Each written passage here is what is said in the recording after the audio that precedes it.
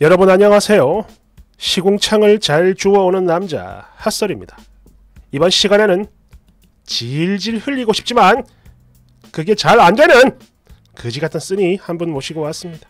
제목 우리 가게 알바생이 너무 이뻐가지고 내가 질질 흘린 건 맞지만 그래도 바람은 안 피웠는데 마누라가 그런 저를 계속 의심합니다. 이게 말이 됩니까 이게?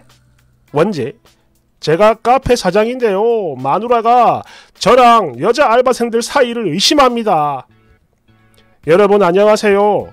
저는 결혼 10개월 차 나이 34살의 남편인데요. 다름이 아니고 저희 아내의 그러니까 진짜 해도 해도 정말 너무한 의심 때문에 정말 답답하고 억울해서 이렇게 글 씁니다. 참고로 저희 아내는 27살입니다. 네, 7살 어리죠. 어. 그래서 완전 떠받들며 여왕님 모시듯 살고 있는데 그럼에도 불구하고 저를 의심한다는 거 이거 진짜 하... 그러니까요. 저는 제법 큰 대형 카페를 운영 중인데요. 어, 뭐 이게 자랑은 아니지만 인스타에서 나름 유명한 편이고 또 저희 가게 알바생들의 경우 솔직히 말씀드리자면 오직 얼굴만 보고 뽑습니다. 예. 그리고 카페 특성상 여자 알바생들밖에 없으며 다섯 명 모두 예쁘고 나이는 20대 초중반이에요. 아주 좋지요. 음. 끝으로 저 아직 어린 나이지만 나름 자영업으로 몇 년 동안 제법 실하게 굴러먹던 놈이라 뭘 어떻게 해야 알바생들이 나를 잘 따르는지 또 가게를 위해 열심히 일을 하는지 이런 것들을 속속들이 잘 알고 있는데요. 그 방법들 중 하나가 바로 최대한 알바생들 편의를 봐주고 그리고 생일 등등 그런 세세한 것들을 챙겨주기입니다. 사랑을 듬뿍 담아서 절대 다른 마음이 있어서 그런 건 아니고요. 오직 좋은 사장이 되기 위해서 그런 겁니다. 왜? 그것이 곧 가게 매출과 직결되니까요. 음. 그런데 그런데 그런 저를 의심하니까 사람 머리가 확 돌아버리고 미쳐버리는 겁니다. 에 서론이 너무 길었네요. 죄송합니다. 그러니까 며칠 전이었죠. 제가 꽤 많이 아끼는 예쁜 알바생의 생일이라 알바생으로서 아끼는 겁니다. 오해하지 마세요. 어. 그래서 제가 백화점 상품권과 더불어 2인 레스토랑 기프티콘을 선물했는데요. 문제는 그 친구가 평소 되게 밝고 애교도 엄청 많은 성격이라서 뭐 저한테 고맙다고 막 하트도 보내고 형형색색 여러가지 이모티콘을 막 써가면서 감사합니다 사장님 뭐 이런 내용의 톡을 보내왔는데 그거를 저희 아내가 본 겁니다. 참고로 내용은 진짜 뭐 별거 없어요. 그저 애교스러운 말투와 하트 그리고 이모티콘이 전부였죠. 어, 근데 그게 문제였어. 음. 그리고 아내가 그걸 보자마자 저한테 언성을 높여가며 강한 추궁을 해왔는데요. 그래도 저는 뭐 당당하고 걸릴 게 하나도 없으니까 전후 관계를 확실히 알려줬을 뿐만 아니라 나는 알바생들 생일도 챙긴다 라고 했더니 헐 오빠 미쳤어? 지금 그걸 말이라고 해? 그게 정상이냐고? 라며 소리를 지르는데요.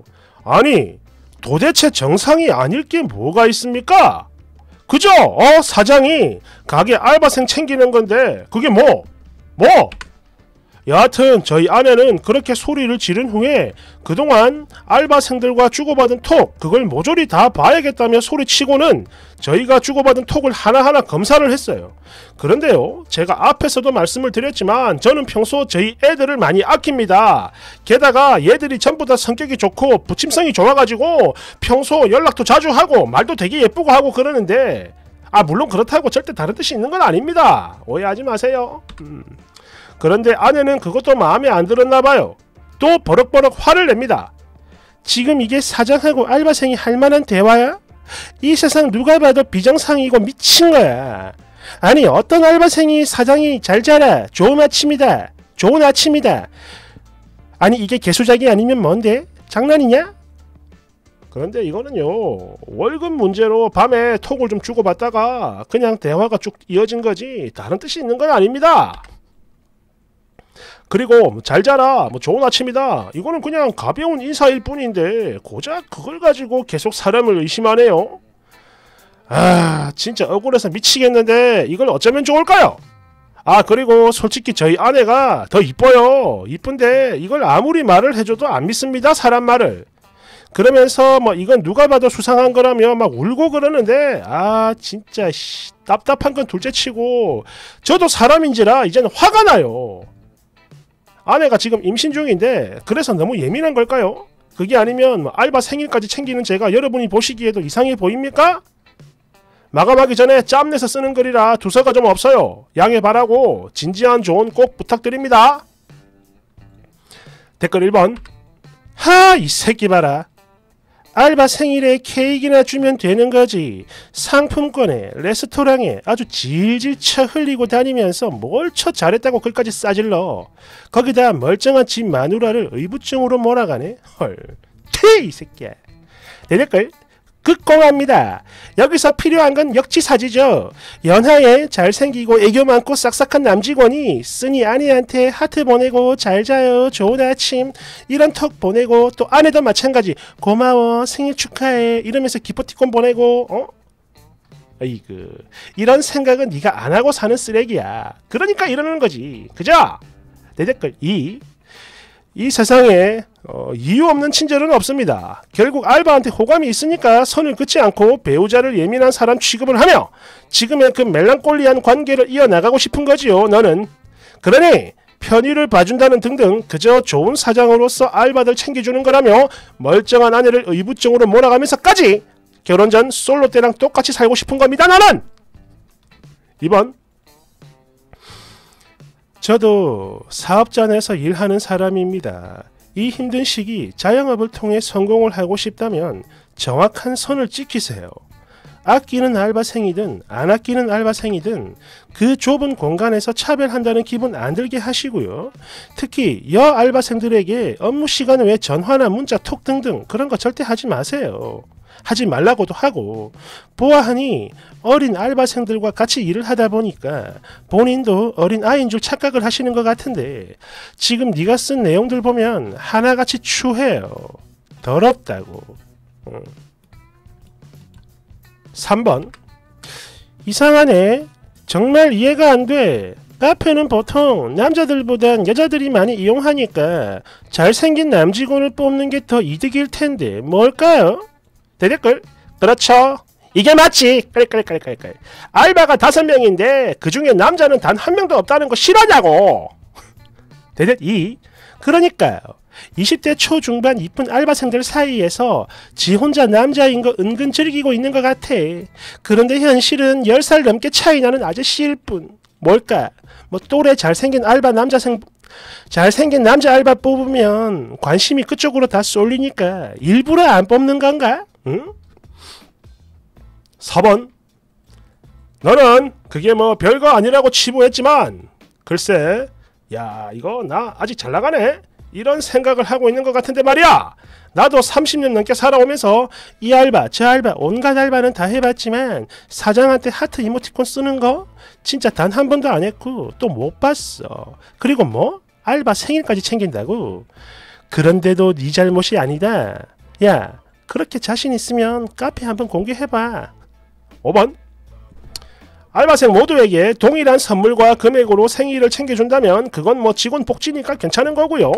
만약 그 알바생만 챙겨준 거다. 그러면 이 마누라가 지랄해도 너는 할 말이 없는 겁니다. 그리고 그런 거 다 떠나서 너는 유부남이에요. 그러니 업무상 필요한 게 아니면 연락하지 마세요. 아내분도 난리지만 연락받는 알바생들 중에서도 아이씨 사장 새끼 결혼도 한 놈이 또 지랄 오바하네. 라며 욕을 하고 있을지 누가 알아요? 너는 알아요? 내 댓글 모르긴 해도 차별 없이 다 챙겨줄 겁니다. 다만 직원들 복지가 아니라 그래 씨, 하나만 걸려라 씨, 하나만 뭐 이런 마음으로 말이죠. 깔깔깔깔깔 6번 아 이 거지 같은 놈 웃기고 앉았네. 야 매출을 생각했으면 여자애들이 아니라 키 크고 잘생긴 남자 알바를 고용했었어야지. 그리고 시끼야, 마! 지금 네 마누라가 열받는 거 그거는 알바들이 자기보다 이뻐서 그런 게 아니여. 남편이라는 네 놈이 나이값 못하고 개 주접을 싸니까 쪽팔려서 열받는 거지. 끌끌끌끌끌. 7번 늙은 사장 주접 떠는 거 개토 나와요. 그냥 돈 많이 주고 말 안 걸어주는 거 그게 최고의 관리야. 응. 8번 뭐? 아끼는 알바? 헐. 나 지금 알바하는 곳 사장도 30대 중반 유부남인데 그 사람도 나를 아낀다고 할까봐 개 소름 돋았어요. 9번 카페 특성상 여직원만 뽑았다. 야말 똑바로 해. 야 말 똑바로 해라. 카페 특성이 아니고 네 특성이겠지.